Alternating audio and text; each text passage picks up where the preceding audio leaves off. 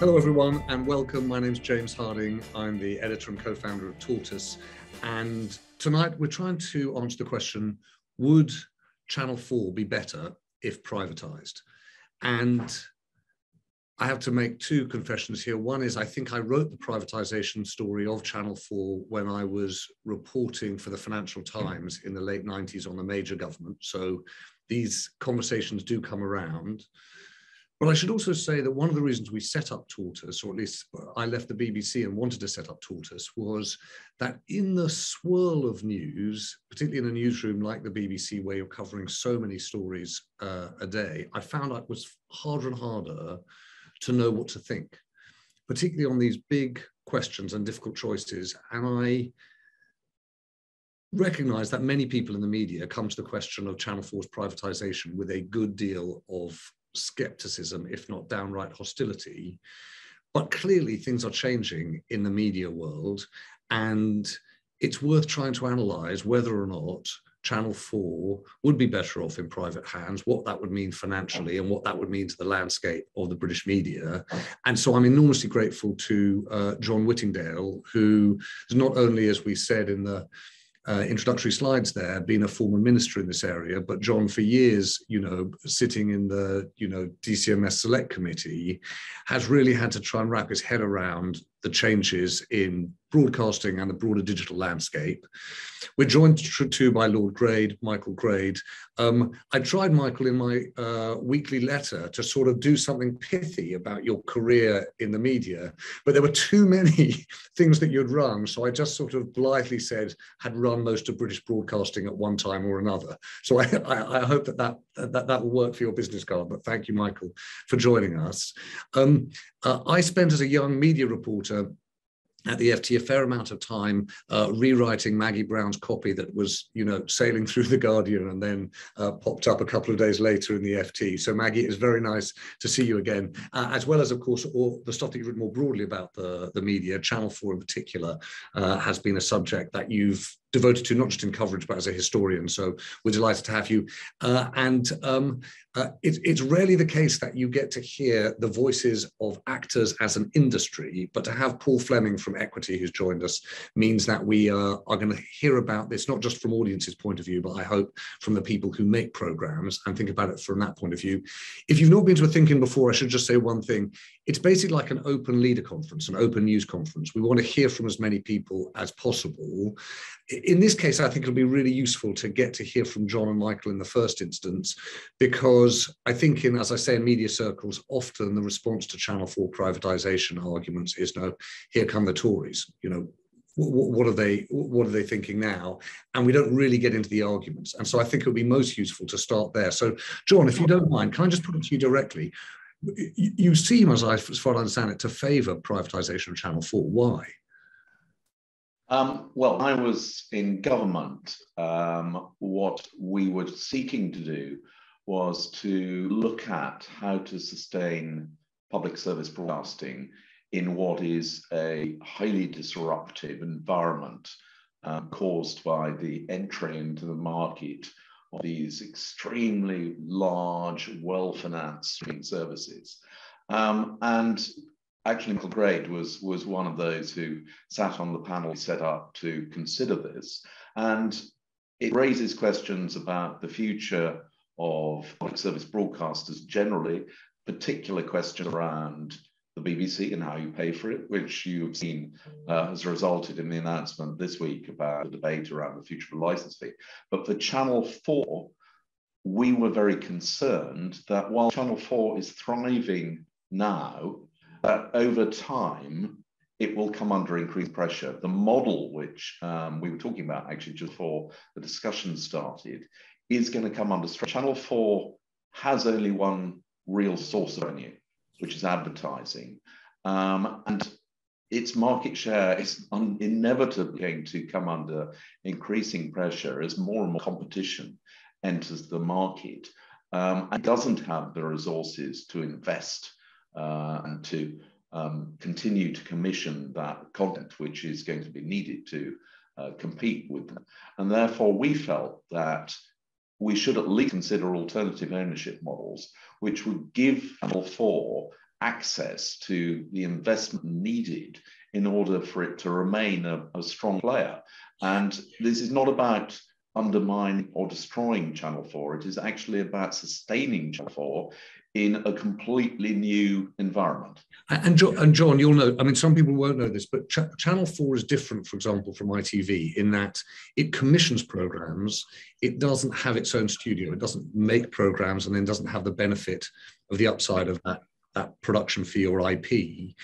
The one thing, John, I don't understand is that if the argument is really about improving the prospects for Channel 4, why is that not also on the table? Why is not giving Channel 4 the chance to make programs as well as commission programs part of the range of options that the government would consider?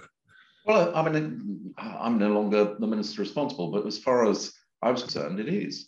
Um, there were no options that we had sort of closed off before even opening the discussion. Now, I mean, I know that um, uh, particularly the independent production sector, probably wouldn't exist today in the strength that it is without Channel 4.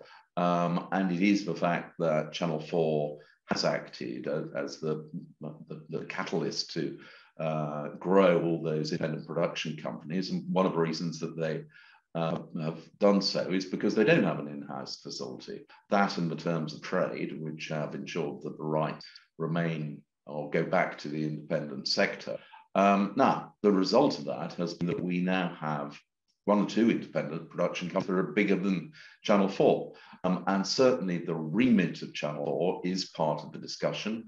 Um, and I see no reason why necessarily we shouldn't consider whether or not um, the bar on Channel 4 owning its own production facility shouldn't um, be one of the things that is open for discussion, as indeed uh, of a nature of the terms of trade, whether or not you may retain the terms of trade or whether or not you restrict perhaps the term trade to the smaller independent production companies know, rather than all of them, but certainly there are one or two of the big ones which need no additional help now. And, and, and George, before I come to Michael, so let me understand the argument. The argument is Channel 4 over time is bound to see a reduction in its chief source of revenue, advertising it can't find other sources of revenue because of the way in which it's structured.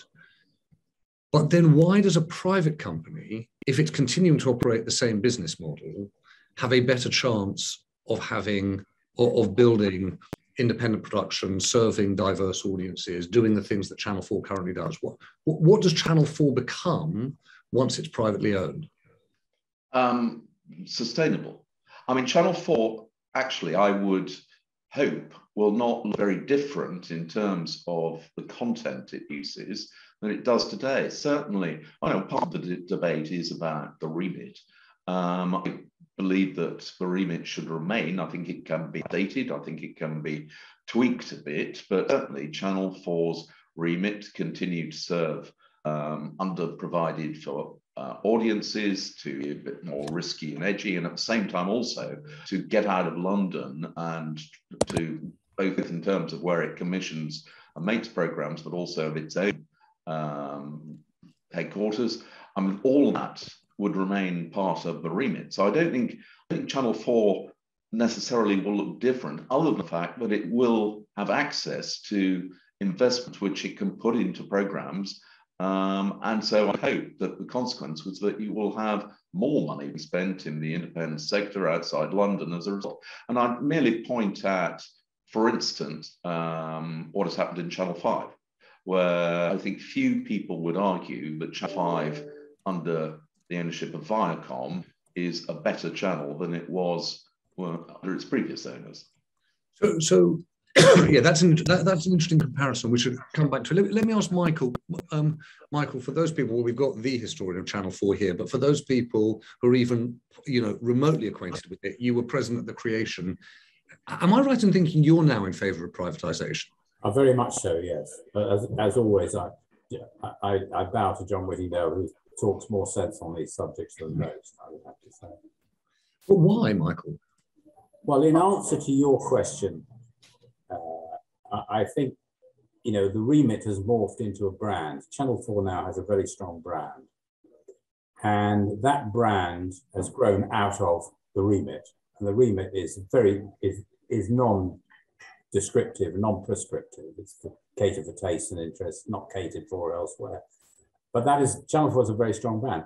If you're a buyer of Channel 4 and you pay whatever you pay, a billion pounds, whatever the number is, uh, you'd be destroying value by interfering and undoing the brand. Because that's the one of the hardest things to do in the media is to distinguish your service from all the other services. Now, the key to this uh, is whether the government, what the answer to the question that I'm going to pose, it comes from the government. Are they looking for the highest possible price or are they looking for the right buyer? Because if, if, if another broadcaster buys, buys Channel 4, there's good synergies there and it'll, it'll work very well. If you sell it to a rapacious private equity house, they'll load it up with, with debt uh, and run it for cash. Uh, and the first thing that will come under pressure will be will be the brand. So it's all about whether the government the government wants the, the highest return, which is what the Treasury will be pushing for, or whether it wants the right buyer. And Michael, can you just explain something? What are you buying? Let's put ourselves in the shoes of a potential purchaser. What, you're buying, you're buying a, a, a, a business with a, successful track record, a very strong brand. You're buying uh, uh, a public service broadcaster with all the privileges that go with that, prominence on EPGs uh, and special treatment and, and so on and so on. That's what you're buying.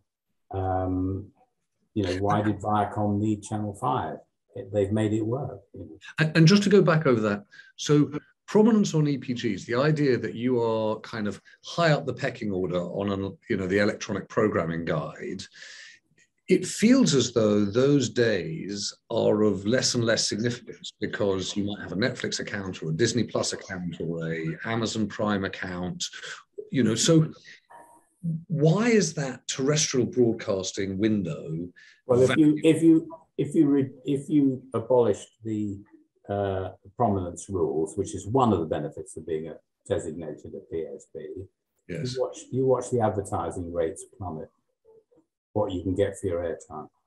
So, so you're so just to understand, you're saying if you had a big broadcaster buy into Channel Four, they would be able to have certain synergies. I imagine they between them and this. When you're talking about that, are you talking about an ITV?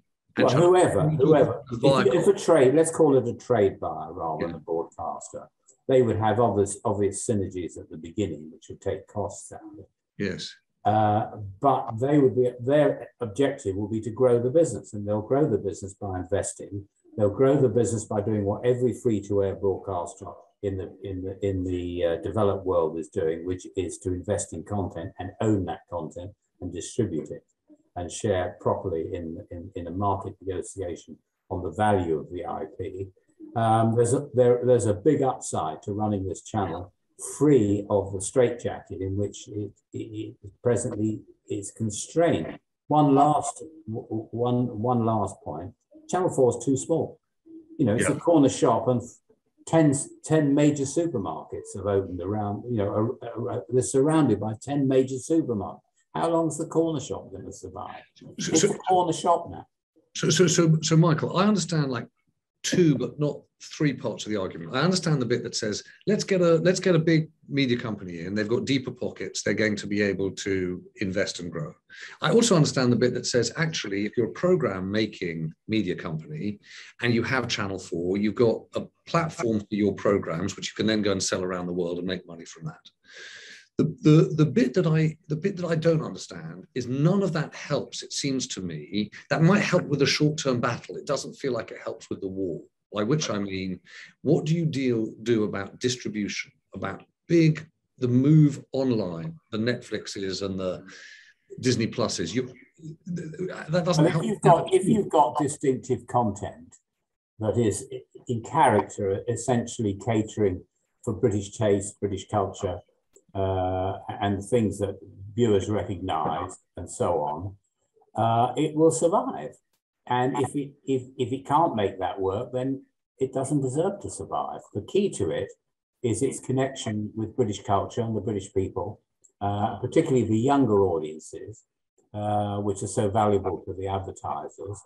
Uh, it, it could be sustained for a long time. So, but, um, let, let, me, let me bring Maggie Brown, if I might. Maggie, do, do you buy the burning platform argument that actually sooner or later Channel 4 is just not financially sustainable and it's going to need someone help to help finance it? Oh, hang on. We can't hear you, Maggie. One sec. Hold on. Hold on. Yeah, there you are. Can you hear me now? Okay. Um, I actually wanted to start in a slightly different place. Sure. And it is that um, I have spent a lot of time over the past 20 years looking back over Channel 4 and writing and researching and being, I hope, independent and writing a history with footnotes. And I have come to conclusions which are somewhat different from the previous speakers, but um, I think they are very relevant. What I, what I think about Channel 4 is that it is an immensely adaptable organization. Uh, that is, in a way, the brilliance of it. And we have actually, in our discussion here, one of the people who adapted Channel 4, one of the many people, well, seven chief executives, somebody who was the longest chief executive, 10 years, number two. And uh, he actually uh, is uh, one of the most key builders of Channel 4 in that he created uh, a very sustainable advertising department and a golden formula, which was uh, to target advertisers who wanted to reach young people and the wealthier older people. And this golden formula, within a few years, 1996, um, uh, resulted in a fantastic new headquarters, now worth about 100 million pounds. And he also fought off two proposals to privatise Channel 4, one under Margaret Thatcher and one under John Major. And this um, process of renewal, you can trace all the way through Channel 4's 40 year history. Um, it's 40 years, where the BBC is, is, is celebrating 100 years. And I began to see this pattern, which is really quite important. You could say that in the 90s, okay, it was golden advertising time, but we had all of the launch of Sky and the challenge of multi-channel subscription television. And so it goes on. You find at every point, Channel 4 manages to adapt. And I think that this should not be discounted in, in the discussion today. The second thing about it is that every um, chief executive, when they come in, um, isn't there for life, and neither are the people around them. And it has a great sense of self renewal. And this is all integral, really, to the character of Channel 4 that we're talking about now. I am not myself saying you should not have um, possibly a change in, in, in, in, the structure and the organization. I, I know that there are, are many faults at Channel 4, but there are two things at the moment which we really do have to consider. The Channel 4 at the moment, and it's been touched upon here, is obeying a um, agreement with uh, the previous Conservative administration under Theresa May to actually um, become a true, uh, to spread itself around the country, to relocate one of its headquarters, its national headquarters to Leeds, uh, and to put uh, commissioning teams with budgets in regional centres. Now, this uh, move to Leeds um, was clearly disrupted because of the problems we all have experienced with COVID and with um, a very sudden and frightening collapse in advertising briefly during 2020. But uh, it, it is still in progress. And this is a deal that was cut by the government. And Channel 4 has uh, has it's a very big challenge to reorganize yourself in this manner and it, it hasn't actually completed it yet so whatever happens it does need to be allowed to to finish what it is supposed to be doing and what and i think this is one of the reasons why uh, there's been a lot of opposition huge opposition really to this proposal this assumption uh, by uh, johnson's government that, uh, that that privatization was the preferred option because it's actually in the middle of doing something pretty radical and important. And it's also there, and I think Rishi Sunak may have a view about this, it's also there to support the, the, the, the levelling up uh, moves that are going on across across the the, the, the political spectrum. And I, I think that this is a really you shouldn't discount this because I think it really matters. And can I just make one further point? It has played a really important role in the creation of the uh, creative industry sector, which is booming. Mm-hmm. One very one point which people forget, uh, and I didn't know this until I, I started researching it. I asked the question for my most recent book: How many films has Channel Four through Film Four invested in and helped onto the screen? And the answer was 546. Wow. It began for okay. Now this is a this is a really important point because we are now seeing studios being, uh, Michael Grade knows this more than anyone, um, uh, in, a, in, almost like a ring uh, uh around uh, London. And this that, that, that figure only pertains to 2017, so I'm sure we could add a couple. But Maggie, sorry, Maggie, Maggie, forgive, sorry, forgive me for uh, interrupting yeah. Uh, by the way, I see the point about Film 4, and actually, I also see the point that you know Rishi Sunak might have around leveling up, you know, and the arguments that Channel 4 I've seen that Alex Mahon's made, which is, you know, we, we wouldn't be putting people into Leeds if we were a privately owned company. We put people into Leeds because we have requirements on us as a public service broadcaster. The, the, the one thing about... Continue under private ownership. Pardon? Which would continue under private ownership. But John, how? As I say, it, it, they are giving to Leeds because that is the requirement of the government. Nobody is saying that if private channel is uh, in private ownership, all those requirements will be taken away. They will still be subject to regulatory requirements. But John, John, uh, I, I think that that has been true for ITV, but it's really hard to say that Viacom, for example, has has had any significant asks made of it on Channel Five. It's hard to see that Channel Four, if someone comes in and buys into it, is going to be answerable in the same way that the BBC and to a lesser extent ITV have been in terms of public service broadcasting. The requirements on them surely will be lighter. Well, I, I, mean, it comes back to the point which Michael Grade made, which is are we seeking to raise lots of money for the Treasury, or are we seeking to sustain Channel 4 and for it to be able to continue to deliver in terms of uh, benefits right across the UK? I was always very clear. It was not about raising the maximum amount of money. It was doing what good for Channel 4. And the remit would remain in place and possibly even be stronger than it is today. But I don't understand the argument there, John. Sorry, which is on the one hand, you're saying we need to bring in a financial investor or a new owner of Channel 4 with some deep pockets that's going to make an investment, right? And at the same time, we want to have, because we don't think as in its currently configuration, it's sustainable. But at the same time, we're going to insist that the current configuration remains. In fact, that the requirements we put on it might become more onerous. Which financial investor, which media buyer is going to say, okay, well, I'm up for that? We have made it absolutely plain that the remit is going to remain and, and you know, could be tweaked a bit. But the interest that is being displayed in Channel 4 is, is, is right across the board. Um, I don't think there's going to be any lack of interest in buying it. Now, the government will have to decide whether or not actually we it is in the long-term interest of Channel 4. But the fact that Channel 4 is available potentially to a private owner while still having the remit um, has not proven to be any kind of disincentive at all. Well, um, John, I'm going to come back to you in a, in a second. And I, there are a whole bunch of people who've made comments about this. I'm going to uh, start bringing them in, but I just want to come to Paul, if I might. Paul, uh, uh, I've never actually had the chance to interview someone who's in charge of equity, and I've never had a chance to ask someone who speaks on behalf of the entire acting world. Can't think of anything more difficult in life. But but have a go. It, overwhelmingly, I imagine that actors are against the idea of privatization. Is that right? I, I, I think so, yeah, and, and and I think that what an awful lot of the arguments around Channel 4 privatization miss is a deeper question about what public service broadcasting means in the 21st century.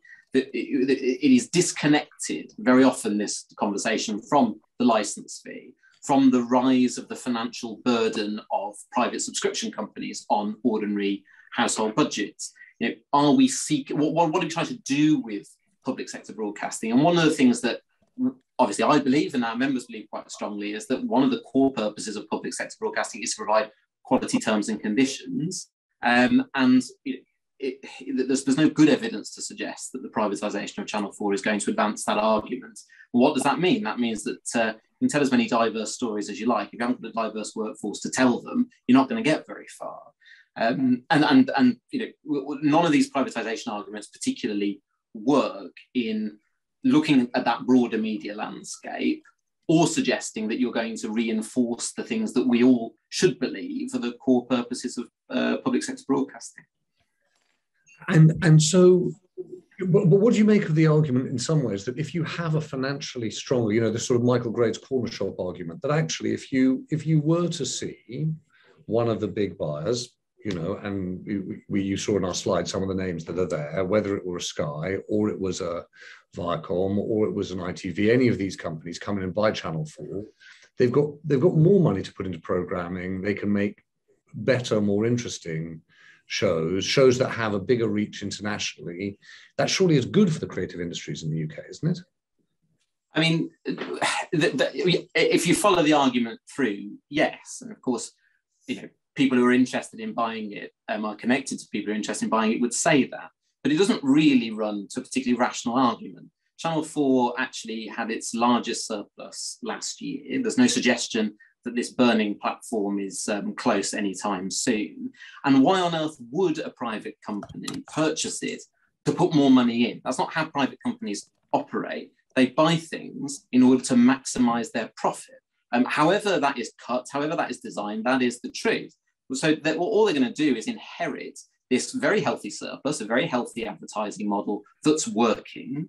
Uh, and I think the, the, the, big question we have to ask again within that big public sector broadcast question is what does this do to the diversity of media outlets we have in this country? We have ITV doing the thing that ITV does, that sort of semi-regulated but commercial thing. You've got the BBC doing what the BBC does. You've got Channel 5 doing what Channel 5 does. But the idea that ITV or Channel 5 would buy, or Sky would buy Channel 4, and then suddenly do something radically different that's adding to that media landscape is again ludicrous because why would you do that? The economies of scale or the approach of your business model isn't going to change. So, actually, do we believe that having a regulated channel that is solely interested, not interested in turning a profit, solely interested in reinvesting in um, disproportionately British programming, which then gets a chance to be broadcast around the world. What, why would any private company do that? I mean, it's not suggested that they would do it from any of their behavior with any of the other channels that they own. And indeed, they're going to look to make a return. So presumably they're going to skim off some of the money from that advertising. So it's just a very odd set of arguments. It would be a set of arguments would be easier to understand if Channel 4's advertising revenue was going down. It would be a set of arguments easier to understand if it was part of a broader review of what public service broadcast means, but it's not. Uh, and, and I think there is something that is kind of the unspoken thing. I, I mean, I'm, I'm really grateful to have a chance to talk about the impact of programming for our members and drama, but an awful lot of this, and indeed a lot of the conversation about the license fee, is motivated by um, certain members of parliament who throw their slippers at um, ITV or either ITN News broadcast on Channel 4 or throw their slippers at uh, the BBC News and, only want to talk about that content. Now, yeah. if that's the problem we want to fix, let's fix that problem. Uh, I mean, like, you know, uh, uh, but, but, actually a lot of this, when you start to stack up the economic arguments, unless you want to buy the channel, nobody's yeah. really making them. And by the way, I have to say, I'm, I'm only smiling because I'm reminded of my time at the BBC, where you'll be glad to know you weren't the only person who'd say, "Could we fix the problem with news because it's driving us up the wall?" All the people in TV and entertainment going, "We're doing great here. They love us. they love Strictly. they love, you know, call the midwife. Why are you making our life so impossible?"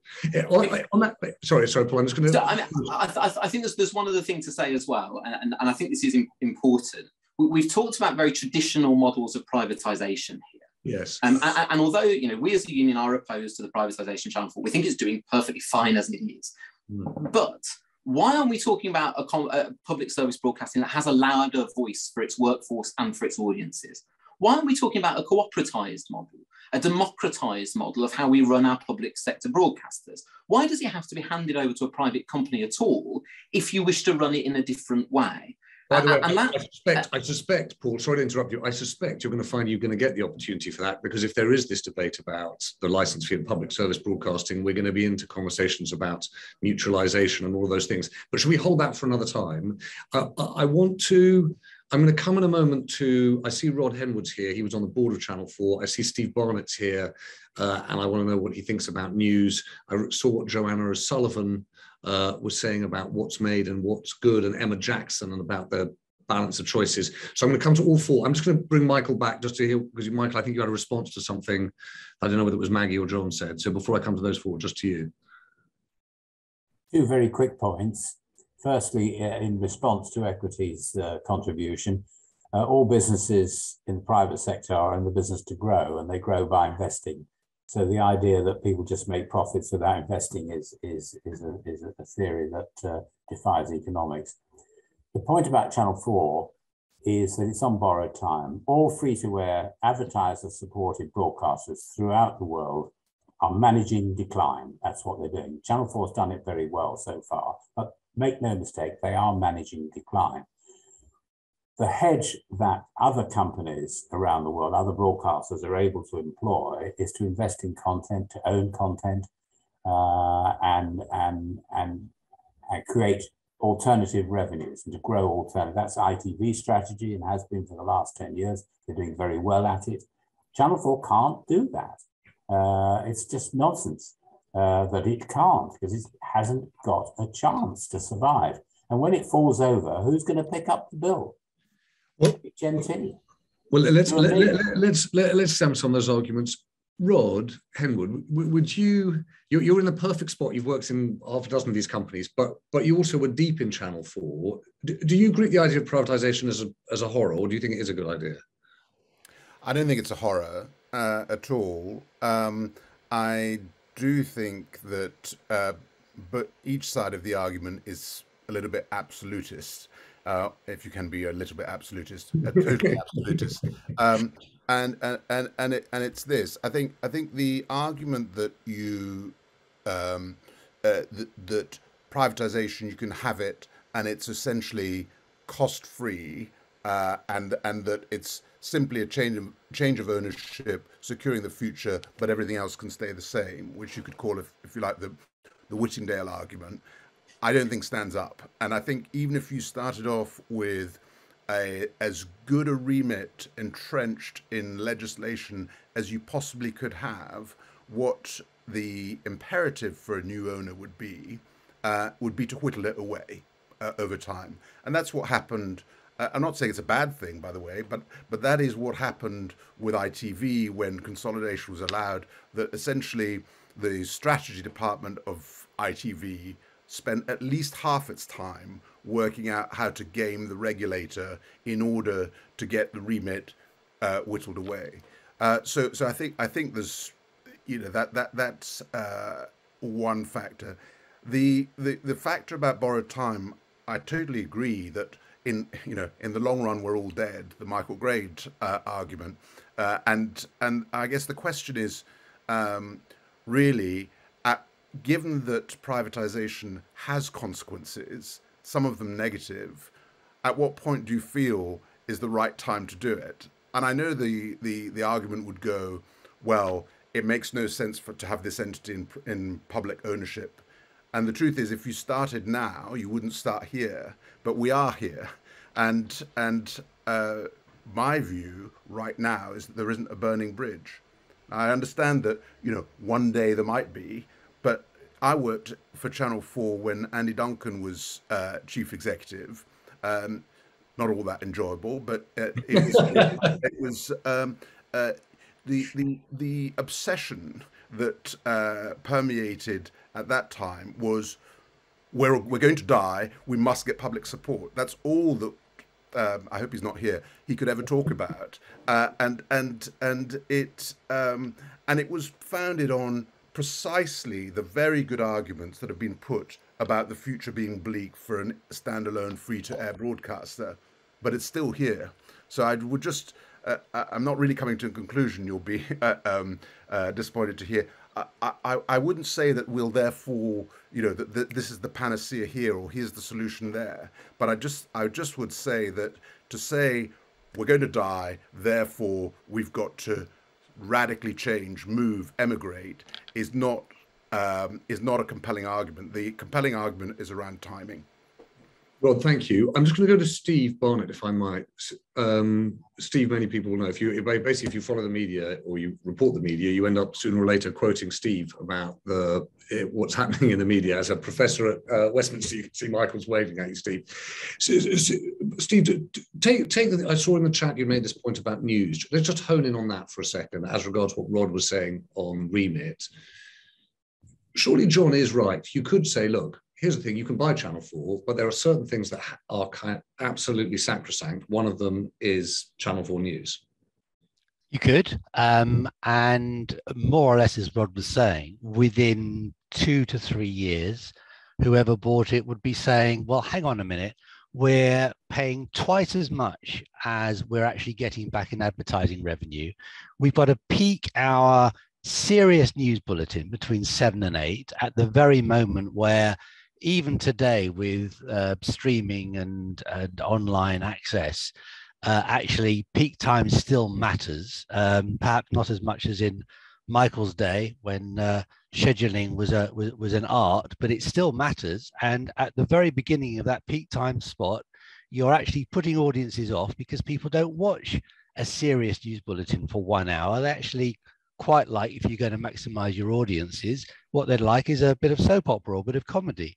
So it would not be long however whatever you want to write into that remit before your shareholders would be kicking up and saying wait a minute we could get a much better return in that hour for the uh, for what you're doing in that series. And uh, this is an important point because it's not just an hour of news, uh, an hour of news between seven and eight.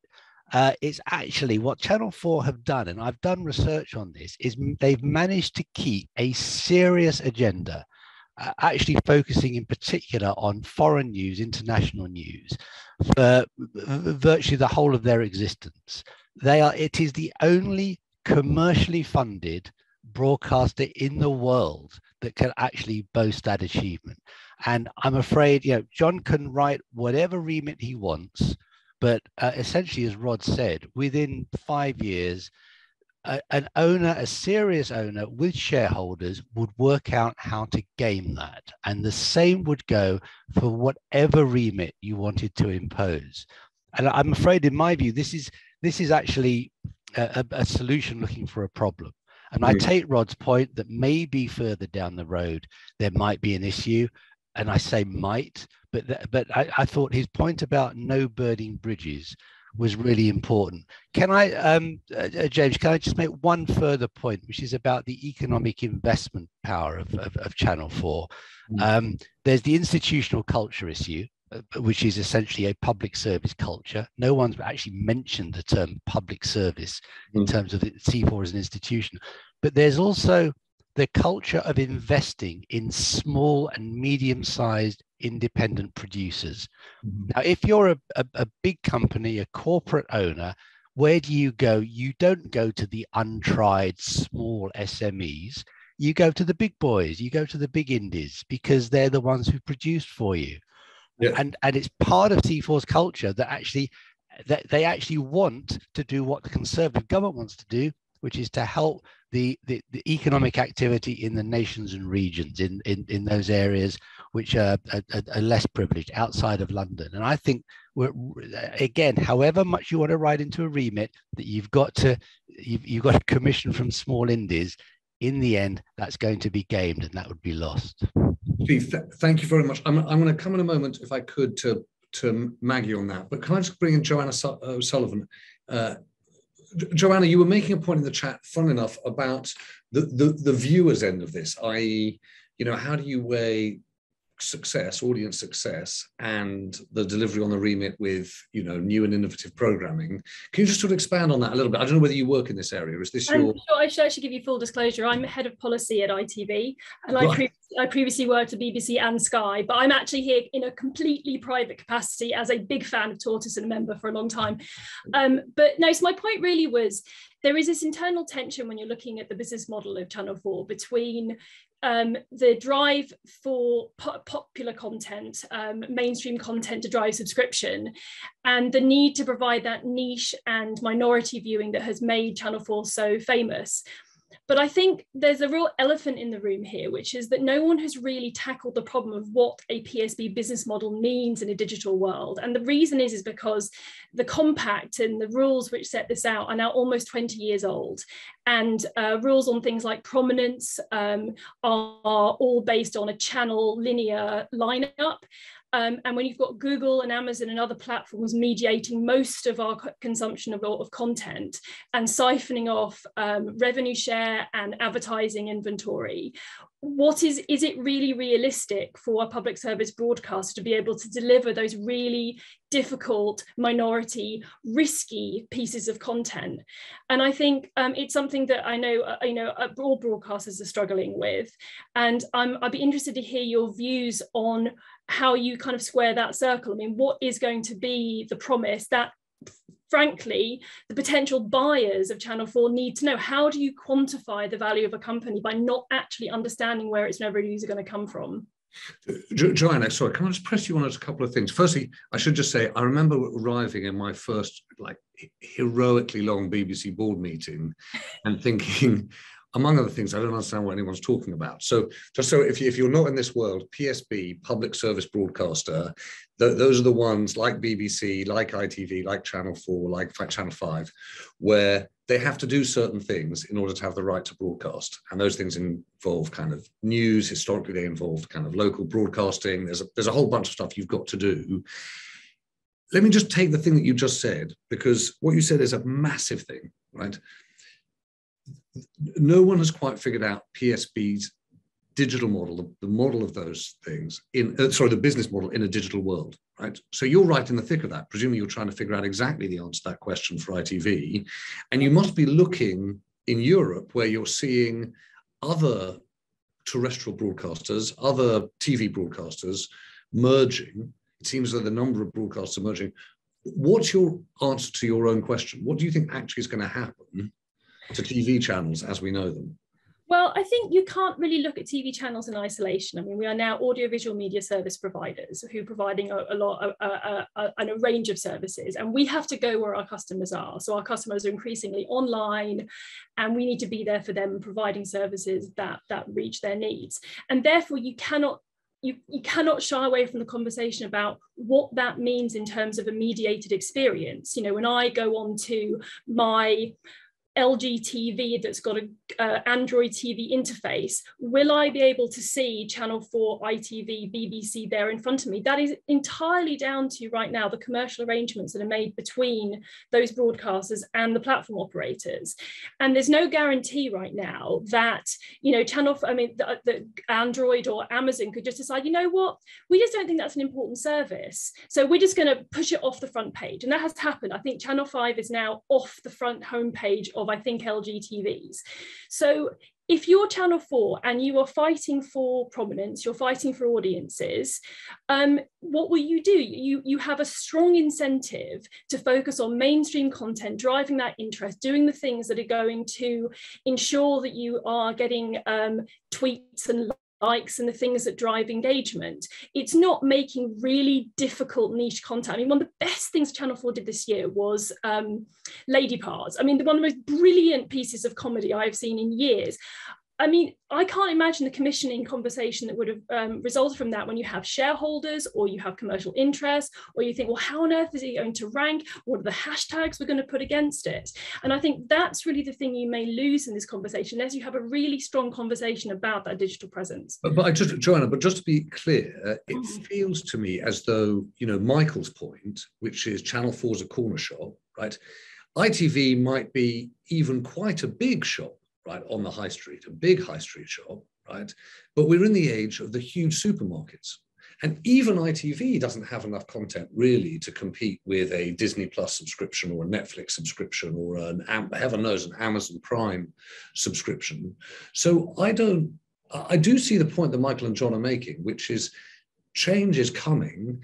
And in the current business model, these people aren't financially equipped to make the investments needed to either win or lose in that battle. It's a really difficult problem. And i think i think at the end of the day it always has to come down to do you value the content that's being made? And i mean i can't speak to that. It's a very personal very subjective decision. I mean you know i i, I can say that you know there's a lot of support for channel 4 um, in the public. I think you know there, there are also lots of other places providing content. But i do think there is a space here to recognize that you know there's a lot of people out there who can't afford netflix subscriptions and, and other things. And do we have an obligation as a society? What do we want to provide as a society yeah. in terms of content that speaks to our u- unique british experience that you're not going to get from from the netflix or or the youtubes potentially? I, I completely get that. And actually fun enough i want to come back to john and, uh, and michael about that point about about britishness and what happens the risk to the idea of british culture with with privatization but can i just come to maggie first? And maggie can I come back to you on a, on a sort of, forgive me, I'm just going to come on a specific issue, which is one of the things that I'm really confused about, and I would really struggle with if I was working for Channel 4 now, is this. On the one hand, one of the most powerful arguments you've got is that you really help the independent sector. All the points that Paul was making about equity, but particularly independent TV production companies.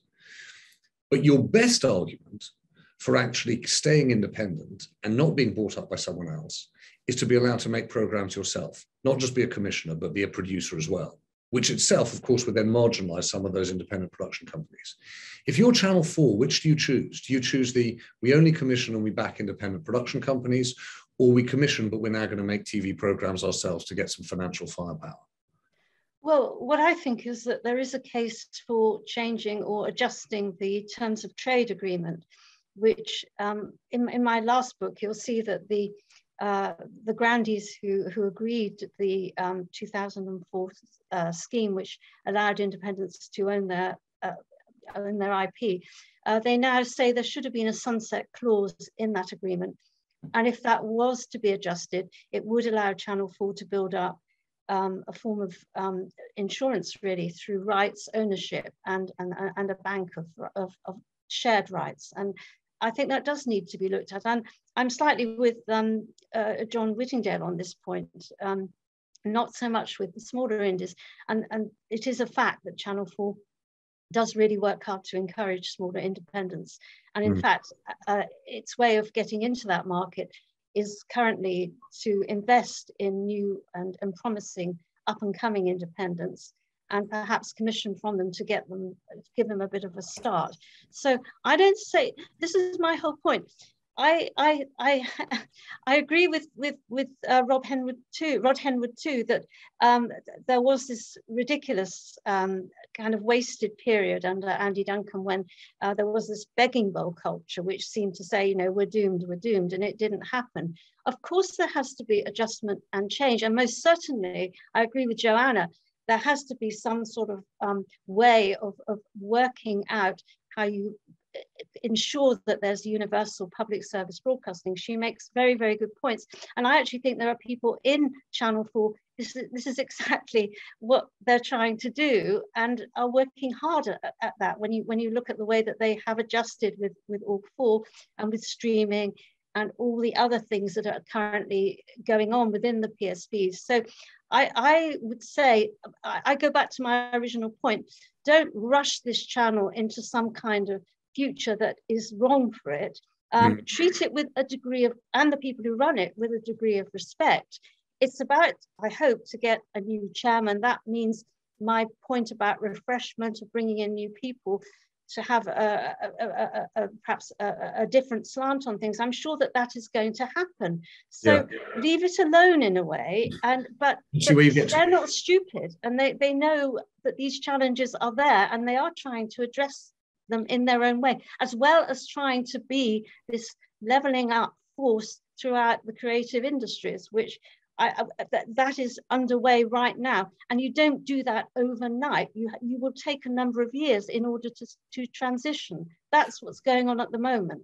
Well, let me, uh, um, Maggie, thank you.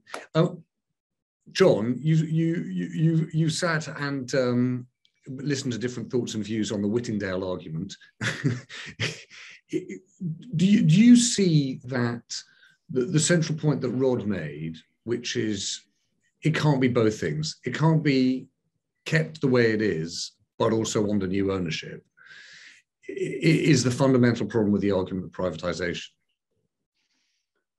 I, I mean, I think anybody who buys Channel 4 will be wanting to own the brand that is Channel 4.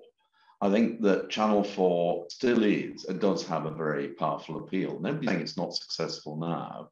Um, our concern is that it will require somebody who's willing to or has the capacity to put the money in to keep it riding that extremely um, successful content.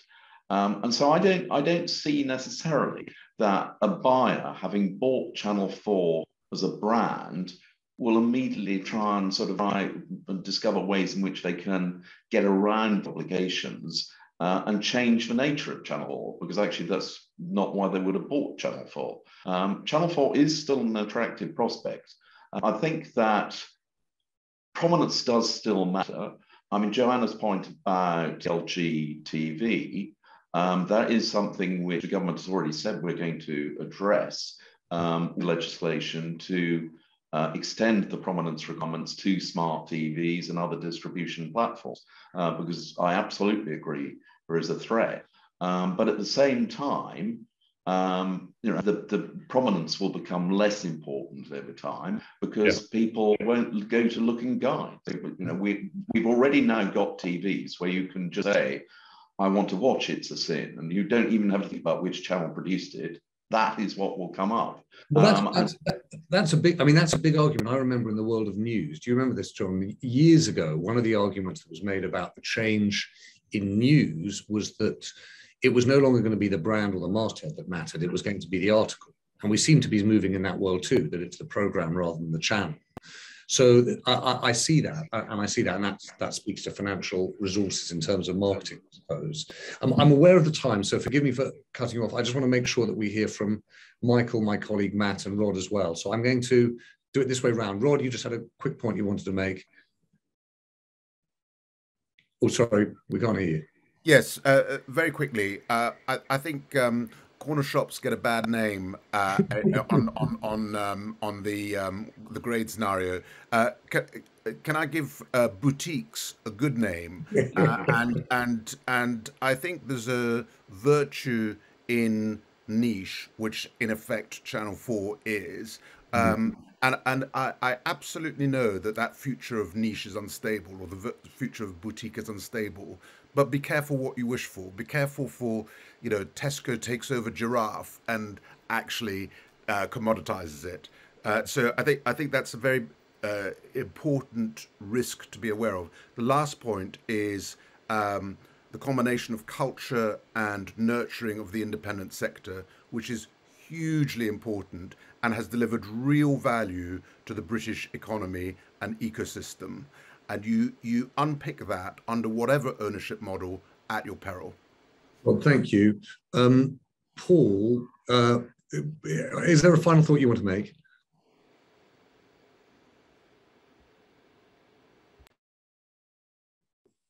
There you are. Sorry. Oh, there you are. I think, yeah, I think I'm back now. Yeah, we hear yeah. you. And I mean, I, th- I think I mean, so, so, somebody said that nobody spoke about uh, publicity broadcast. I mean, I think the, core of my argument is about public sector broadcast. We're not talking about, we're trying to have a very, very sectional conversation about Channel 4 without talking about the role of um, uh, the, the, the, role of the state in regulating and engaging a 21st century media landscape. What you have is Channel 4 bubbling along quite successfully on all the metrics it's ever been set and a desire actually to privatize it for privatization's sake. And, and we can talk about, oh, privatise it and they invest in it. Has that been our experience as a country? Water, electricity, gas, or the post service? I mean, I don't think it has actually. The, the, the truth is, is that, you know, we've trained. It's, mixed it's, the, it's the taxpayer that's had to, to, to come and back it up. And there's a big question as well when we talk about, okay, there might be a point, not now, but in the future, where the money is needed. Why? Th- th- there's been no consideration. Actually, maybe it is the taxpayer or the audience that has to pay that through a reformed form of license fee, a reformed way of paying for public sector broadcast. You know, there is a, or indeed the cooperatisation and mutualisation of public broadcast in that way, and, and maybe placing some more obligations uh, and more restrictions on pay-per-view services. Paul, th thank you. I do think having a conversation about funding public sector broadcasting, aka the BBC, is probably a whole other discussion. When before we started, I said, you know, stick around for the second half. We'll do the BBC. Maybe not tonight. Um, uh, I'm going to go to Michael and then finally to my colleague Matt uh, to, to have the word last word. Michael, let me put it to you that let's say that you've actually made the argument, landed the argument that says we've got a problem coming. Whether you think it's right now or it's coming down the track, you, you've landed that argument.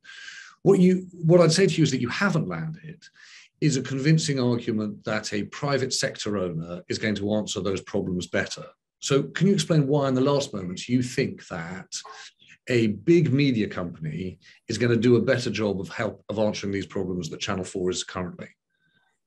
Well, let's look at ITV, which has got evil shareholders crawling all over it, stopping them doing news at 10 in Coronation Street, where they which costs too much money. They could put a cheaper. I mean, it's just nonsense argument. Uh, shareholders are interested in creating value. You don't create value by asset stripping a business. So that's a complete non-starter. ITV is as British as it comes, uh, and it has major institutional shareholders, uh, and it keeps them happy, it keeps the viewers happy, and it keeps the advertisers happy. So that's a nonsense argument. The question about Britishness is what is the alternative? The alternative is disaster because you can't compete with Disney and Netflix and Amazon and Google and Apple and all the rest of them. The only chance you've got of surviving is to provide something that that market is not providing, and that includes a range of programs. Uh, all they do, uh, they're doing a few more documentaries now on, on the streaming services, but basically it's movies and, and drama series. There's no rain, there's no news, there's no live, there's no strictly, there's no, they, they don't create anything uh, in outside of some fantastic drama. And incidentally, anybody who hasn't watched Dopesick on Disney yeah. Plus, you're it's missing amazing. one of the greatest television series ever, ever, ever made. I wanted, by the way, Michael, just, just to let you know how contrary I am, I wanted to have a thinking on are the Sacklers really that bad? Right? because when you've watched that program, you're like, really, really? Um, that's, well, I've just I've just been on uh, uh, uh, OxyContin. I had a major spinal operation and I was on OxyContin. Then I watched the program. No. I think I might have resisted, but it is an amazing drug, but it needs to be controlled. That was they were dishing it out like Smarties in America. Anyway, that's the, I rest I rest my case. We've got we've got three. I, we've got, sorry, go on.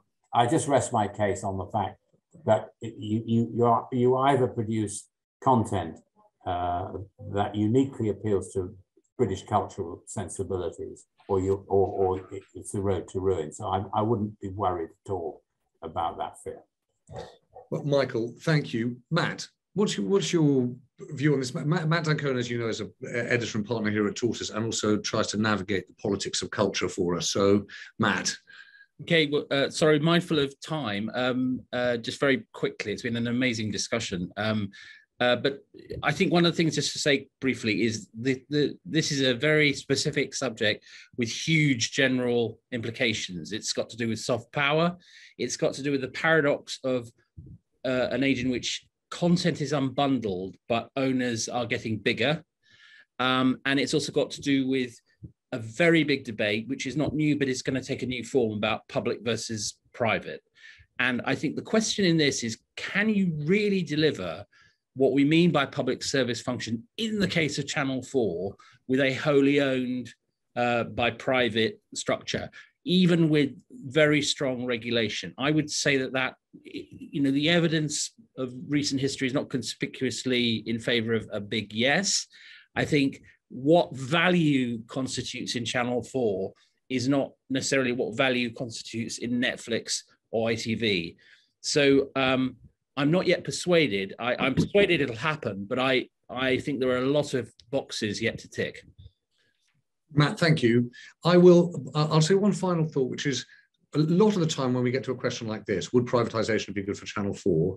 I come away thinking, well, I started out unclear and I'm now even unclearer. Actually, I'm strangely on this one, actually much clearer. So a huge thank you to you in the sense that it seems to me clear that the arguments around the threats to Channel 4, not immediate, there is still kind of good runway here, but the long-term structural threats that you know everyone was talking about, but John and Michael, but also Rod and Joanna were talking about. These are these are real. They're not immediate. I really buy Maggie's argument that there is a fundamental change going on in Channel 4. So the question is, how successful that be? But I do do take away from this that actually it feels as though there are two big issues that need to be addressed. One is, as things stand, giving Channel 4 a, a decent chance at things, which is a change to its business model. So, not necessarily privatization, but much more commercial. The more I think about it, the more I think being able to build a studios business so that they have some IP. Even those people in favor of privatization should be in favor of that because it would make it more valuable in the long run. And the second is, it feels to me as though, and the bit about the argument, Michael and John, that I'm least persuaded by is the it has a strong brand and it will continue to serve that strong brand. The reality is, is that companies over time, their brands change.